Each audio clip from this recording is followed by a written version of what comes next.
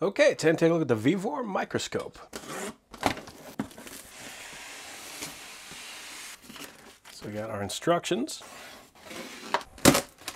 Okay.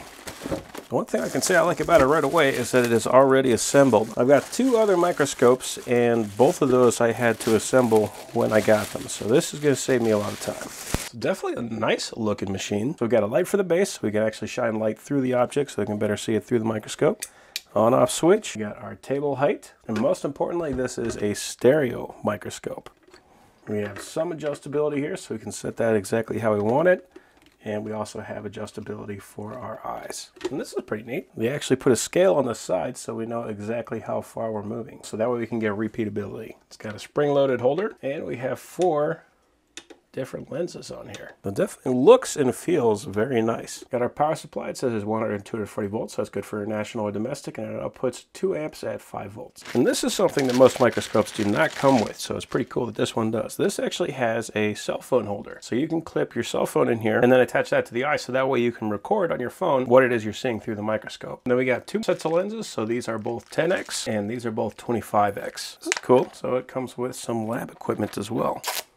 So we got a petri dish, we've got a sample collector, some tweezers, looks like we also got a bulb and a pin. We got all kinds of fun stuff in here. A little scraping razor. Oh, this is nice. So it even comes with a bunch of slides. That way we got something we can put our specimen on. Oh, nice. And so these are a bunch of covers. So we can take those slides and then we can pancake that specimen with this so that we don't have to worry about it moving around. You can see we got a whole bunch of them too.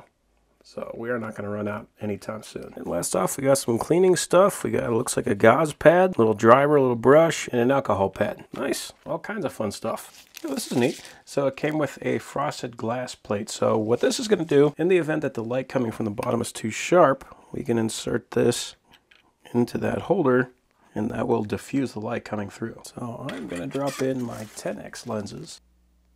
Cool. All right. Now I'm curious So yeah, it just slides right on.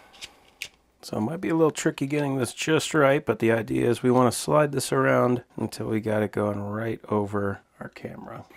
So there might be some trial and error with just which lens you want to use. Right now I am using the 0.5, and by that I mean the lens on the camera. And then this is actually two different dials. So the top one will move the table forward and backward. And the bottom one will move it left and right. And there's also an adjustment for the diaphragm. So I found a little flake and I'm going to see if I can see what that looks like. And then we got the coarse focus and we have the fine focus. Look at that. That is cool. Oh, that's awesome. How about that?